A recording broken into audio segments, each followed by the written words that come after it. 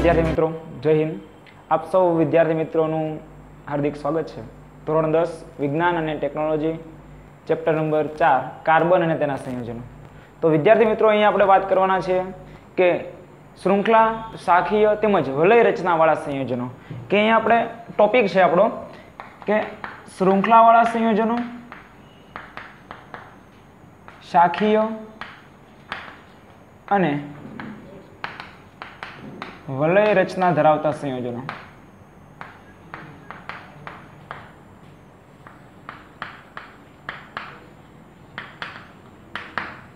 તો સૌપ્રથમ વાત કરીએ આવા સંયોજનો કે જે હાઇડ્રોકાર્બન હોય છે. તો સૌપ્રથમ આપણે હાઇડ્રોકાર્બનની વાત કરીએ અને પછી આ શૃંખલા શાખીય અને વલય રચનાવાળા સંયોજનોની વાત કરીએ. સૌપ્રથમ કે હાઇડ્રોકાર્બન કોને કહીએ છીએ આપણે?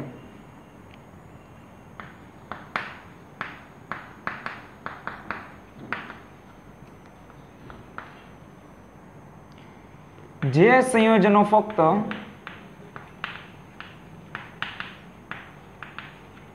કાર્બન અને હાઇડ્રોજન ધરાવતા હોય, ફક્ત અને ફક્ત કાર્બન અને હાઇડ્રોજન ધરાવતા હોય, તેવા સંયોજનોને હાઇડ્રોકાર્બન સંયોજનો કહે છે.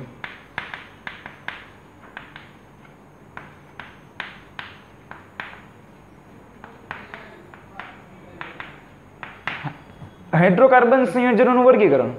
તો હાઇડ્રોકાર્બન સંયોજનોનું મુખ્યત્વે સંતૃપ્ત અને અસંતૃપ્ત સંયોજનો વર્ગીકરણ કરી શકાય. સંતૃપ્ત હાઇડ્રોકાર્બન અને અસંતૃપ્ત હાઇડ્રોકાર્બન તો સંતૃપ્ત હાઇડ્રોકાર્બન કોને કહીએ? કે જેની કાર્બનની બધી જ સંયોજકતા, કે એક કાર્બન સાથે ને બાકીની બધી હાઇડ્રોજન સાથે સંયોજાયેલી હોય, કે જેમાં હવે બંધ બ્રેક કરીને કંઈક નવા સંયોજનો ઉમેરી શકાતા નથી. એ સંતૃપ્ત હાઇડ્રોકાર્બન છે. તો સૌપ્રથમ વાત કરીએ છીએ હાઇડ્રોકાર્બનનું વર્ગીકરણ.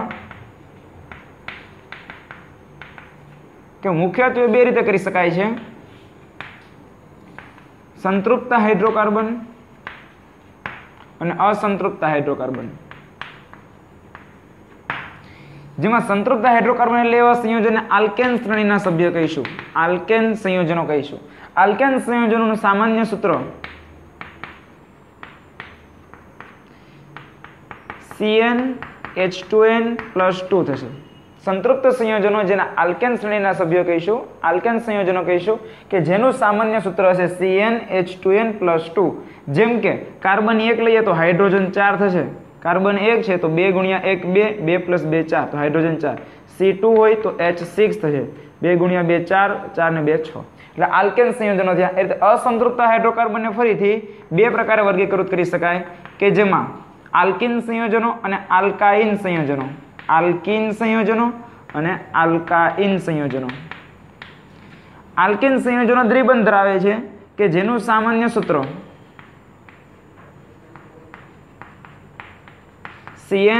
ટુ એન થશે. એટલે કાર્બન જેટલા છે એના બમણા હાઇડ્રોજન સી ટુ તો એચ ફોર સી થ્રી તો એચ સિક્સ જેટલા કાર્બન એના બમણા હાઇડ્રોજન છે આલ્કાઇન સંયોજનો તો એ ટ્રિપલ બોન્ડ ધરાવતા છે, ત્રણ બંધ ધરાવતા છે એમના સામાન્ય સૂત્ર થશે C n H two n minus two C n H two n minus two તેમનું સામાન્ય સૂત્ર થશે. અને એવા સંયોજનો સી ટુ તો હાઇડ્રોજન બે ગુણ્યા બે, ચાર. ચારમાંથી બે કાઢીએ તો બે. તો C two H two C three H four ચાર દુ કાર્બન ત્રણ છે, ત્રણ દુ છ, છમાંથી બે કાઢીએ તો ચાર. તો આવા સંયોજનો જાને કહીએ છીએ મિથેન, આલ્કેન, એને પાછળ પ્રત્યય લાગે છે એન એન પ્રત્યય લગાવવામાં આવે છે મિથેન, ઇથેન આવા પ્રત્યય લાગે છે. જ્યારે આલ્કેન સંયોજનો, આલ્કેન સંયોજનના સામે સૂત્ર કીધા C n H two n આ સી ટુ એચ ફોર બે કાર્બન છે, તો ઇથિન, કે જેમાં ઇન પ્રત્યય લાગે છે. પ્રત્યય એટલે પાછળ જે લગાવવામાં આવે તે પ્રત્યય કે પૂર્વક એટલે આગળ લગાવતા હોય. ઇન ઇથ ઇન પ્રોપ ઇન આવા પ્રત્યય લાગે છે. કાર્બન બે, તો ઇથિન, ત્રણ, તો પ્રોપિન. જ્યારે આલ્કાઇન છે, તેને આઇન પ્રત્યય લાગે છે. આલ્કાઇન. આયન પ્રત્યે લાગે C two H two carbon બે છે તો ઇથાઇન. અને ત્રણ કાર્બન તો પ્રોપાઇન.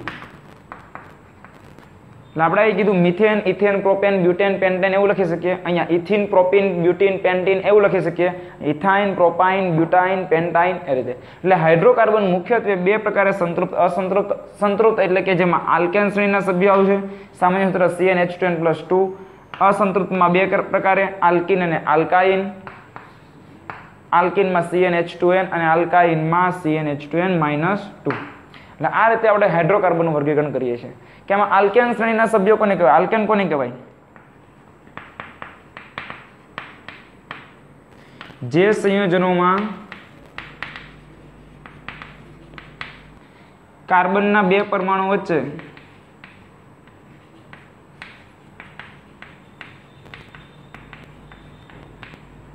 એકલ બંધ હોય. તેમને આપણે આલ્કેન સંયોજનો કીધા, જેમાં મિથેન, ઇથેન, પ્રોપેન, બ્યુટેન આ રીતે લખી શકીએ કે જે નોર્મલ નોર્મલ એટલે સામાન્ય શૃંખલા ધરાવતા હોય. આલ્કિન સંયોજનો કોને કહીશું? કે જે સંયોજનોમાં કાર્બનના બે પરમાણુ વચ્ચે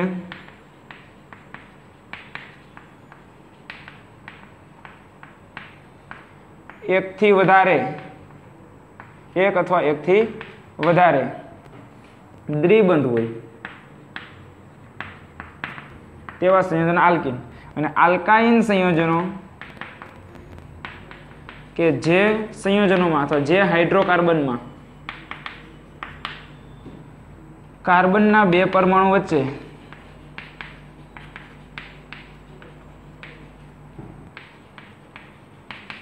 ત્રિબંધ રહેલો હોય. એક કે તેથી વધારે ત્રિબંધ રહેલો હોય તેને કહીએ છીએ આલ્કાઇન. એટલે આલ્કેન, આલ્કિન, આલ્કાઇન હાઇડ્રોકાર્બનના રીતે વર્ગીકરણ કરી શકીએ છીએ હવે હાઇડ્રોકાર્બનનું બંધારણને આધારે વર્ગીકરણ. કે હાઇડ્રોકાર્બન છે તેમનું બંધારણને આધારે વર્ગીકરણની વાત કરીએ.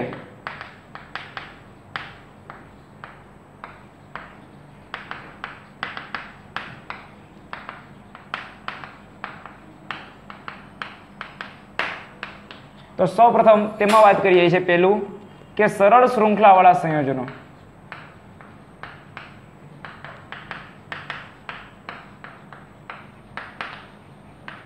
બીજું છે તેમાં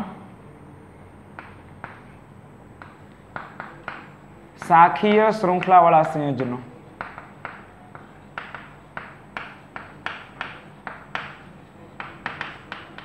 અને ત્રીજું છે તેમાં વલય રચનાવાળા સંયોજનો.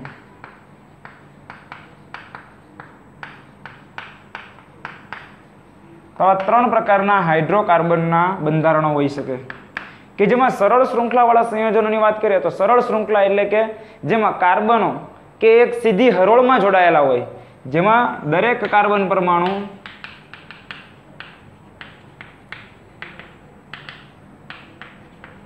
સીધી હરોળમાં જોડાયેલા હોય.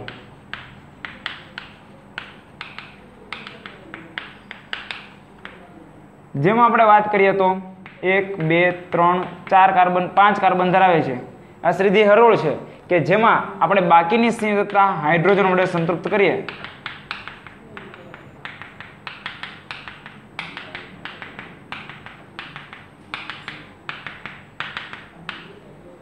તો આમાં પાંચ કાર્બન છે તો પેન્ટેન કહીએ છીએ.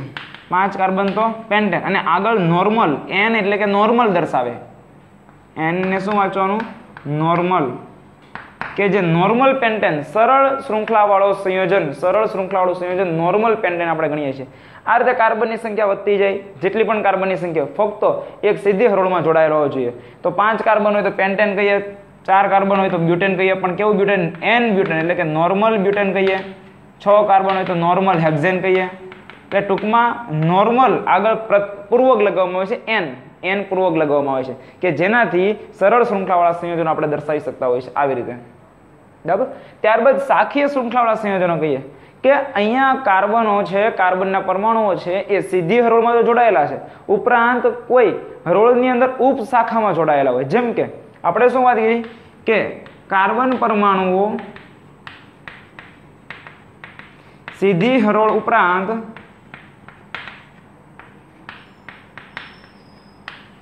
ઉપશાખામાં જોડાયેલા હોય.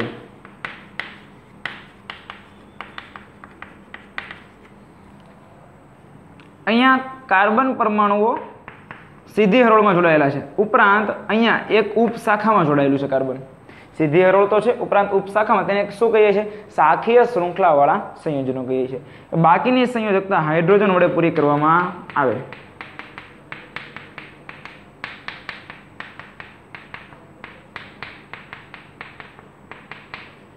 દરેક કાર્બનની ચતુસંયુક્તા હોય, ચાર સંયુક્તા હોય, બધી પૂરી કરવામાં આવતી હોય. અહીંયા કાર્બન વડે પૂરી થયેલી હોય, બાકીની હાઇડ્રોજન વડે પૂરી થયેલી એટલે આપણે એમ કહીએ છીએ કે અહીંયા શૃંખલામાં તો જોડાયેલા છે, સરળ શૃંખલામાં ઉપરાંત ઉપ શૃંખલામાં પણ જોડાયેલા હોય છે. એને કહે છે શાખીય શૃંખલાવાળા સંયોજનો. બરાબર? આનું નામ શું આપીશું? અહીંયા ટોટલ કાર્બનની સંખ્યા ત્રણ અને ચાર છે. ચાર કાર્બન છે અને વચ્ચેથી કોઈ એક કાર્બન જોડાયેલો છે. તો આને આપણે આઈસો પ્રત્યે કહીએ છીએ. આઈએસઓ આઈસો કેટલા કાર્બન છે? ચાર. તો શું કહીએ? બ્યુટેન. આઈસો બ્યુટેન કહીએ છીએ. શું કહીશું? Isobutane. આવી રીતે વચ્ચેના એક કાર્બન પર બીજા બે કાર્બન જોડાયેલા હોય તો? કાર્બનની સંખ્યા આપણી પાસે ત્રણ. શૃંખલામાં છે. ઉપરાંત વચ્ચેના કાર્બન પર એક અને બીજા બે કાર્બન રહેલા હોય. વચ્ચેના કાર્બન પર બીજા બે કાર્બન રહેલા હોય બાકીની બધી સંયુક્તતા હાઇડ્રોજન વડે પૂરી થયેલી હોય. તો આવા સંયોજનને આપણે શું કહીશું? પાંચ કાર્બન છે ટોટલ, તો એમને પેન્ટેન કહીએ. અને એક કાર્બન ઉપર જ બીજા બે કાર્બન રહેલા હોય, તો એમને કહીએ છીએ neo N E O neo. કેટલા કાર્બન? પાંચ. તો પેન્ટેન નિયો પેન્ટેન એટલે આ રીતે આઈસો અને નિયો, કે જે સાખી શૃંખલાવાળા સંયોજનમાં આવશે. આઈસો એટલે કે જેમાં આપણે કહીએ વચ્ચેના કાર્બન પર કોઈ એક કાર્બન જોડાયેલો હોય અને નિયો એટલે કે વચ્ચેના કાર્બન પર બીજા બે કાર્બન જોડાયેલા હોય તો નિયો કહે છે. તો આ રીતે શાખીય શૃંખલાવાળા સંયોજનનું વર્ગીકરણ કરી શકીએ. ત્યારબાદ વલય રચનાવાળા સંયોજનો. કે સંયોજનોમાં કાર્બનિક સંયોજનોની અંદર કે પહેલો કાર્બન અને છેડાનો કાર્બન બંને એકબીજા સાથે જોડાયેલા હોય અને વલયની રચના કરતા હોય. તેવા સંયોજનો વલય રચનાવાળા સંયોજન કહેવાય. કે કાર્બન પરમાણુઓમાં પ્રથમ કાર્બન અને અંતિમ કાર્બન એકબીજા સાથે જોડાયેલા હોય.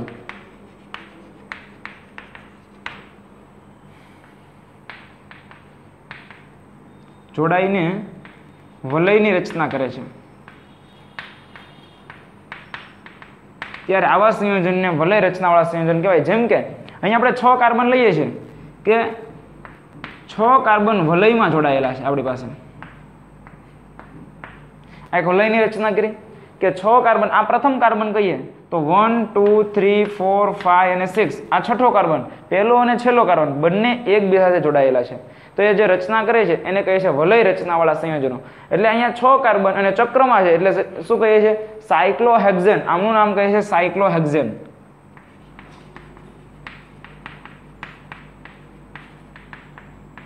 ચક્રીય સંયોજનો છે સાયક્લોહેક્ઝન અને કાર્બનની બે સંયુક્તા પૂરી થઈ ગઈ, એક અને બે. બાકીની બે સંયુક્તા હાઇડ્રોજન વડે પૂરી કરવામાં આવે છે. બાકીની બે સંયુક્તા બાકી રહે છે, એ હાઇડ્રોજન વડે અહીંયા પૂરી થતી હોય.